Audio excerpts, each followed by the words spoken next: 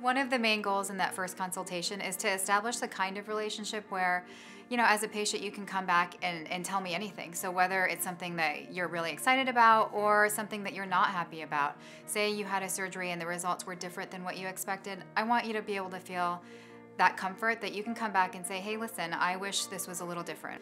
I'm happy to do that for you because I want you to be happy. What I would hate to have happen is if, if there was something you're unhappy about and you were scared to tell me about it. Because when it really comes down to it, it's not about me, it's about the patient and what they need and what's gonna make them happy.